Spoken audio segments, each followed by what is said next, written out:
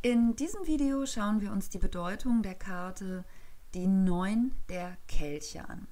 Kelchkarten werden den Wasserzeichen zugeordnet, also Fische, Skorpion und Krebs.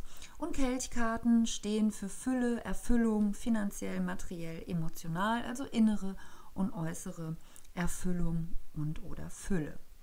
Schauen wir uns die Karte an. Wir sehen hier jemanden, der vor ja, neun Kelchen sitzt, ja, ganz fröhlich dreinschaut und ähm, ja, offensichtlich sehr ähm, stabil und ähm, gefestigt quasi dort sitzt.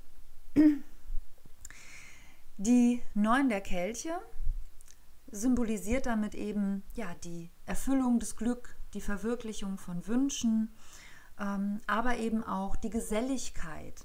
Ja, ähm, das sind neun Kelche, eine Person. Da werden also noch andere Menschen sein, die sich an den Kelchen auch bedienen können. Das kann ausdrücken, dass jemand oder einige hinter ähm, einem stehen, je nachdem im Kontext, wenn da ähm, andere Karten drumherum liegen, die negativ anzeigen und auch je nach Fragestellung natürlich kann es auch bedeuten, dass einem jemand in den Rücken gefallen ist. Die Karte generell drückt die Erfüllung von Träumen und Wünschen aus, insbesondere im emotionalen und spirituellen Bereich.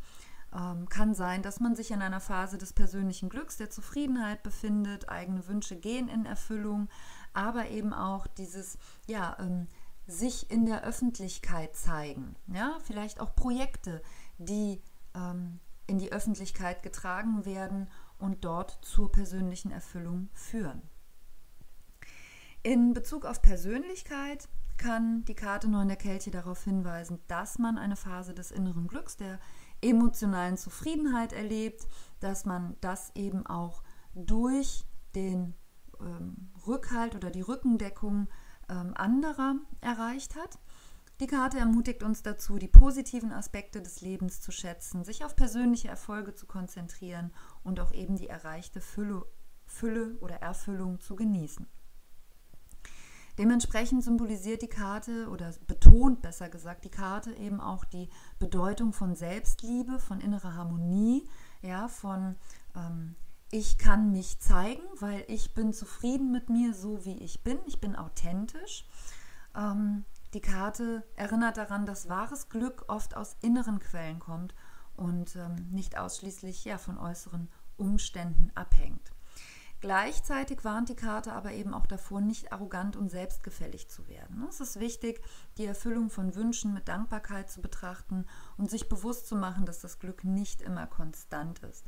Und auch eben die Menschen zu schätzen, die einem den Rücken freigehalten haben oder gestärkt haben, um seine Ziele zu erreichen. Insgesamt verkörpert die Karte die Neun der Kelche, also die Energie von Glück, Zufriedenheit, Erfüllung von Wünschen, die Geselligkeit, die Öffentlichkeit. Die Karte ermutigt uns dazu, die positiven Aspekte des Lebens zu schätzen, sich eben auf das innere Wohlbefinden zu konzentrieren, die erreichte Erfüllung in vollen Zügen zu genießen, ja, ähm, rauszugehen, sich zu zeigen und auch mutig Projekte ins Leben zu bringen in die Öffentlichkeit zu tragen.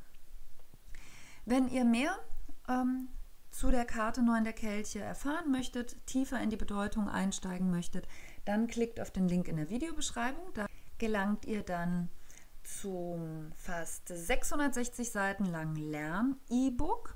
Das ist quasi die Erweiterung zu den Videos. Da findet ihr übersichtlich gegliedert in kleine, gut lernbare Häppchen verpackt, ganz, ganz viel ähm, an ja, weiterer Bedeutung zu allen Tarotkarten.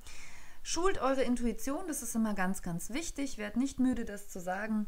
Und ansonsten weiterhin viel, viel Spaß beim Tarotlernen. Alles, alles Liebe und bis ganz, ganz bald.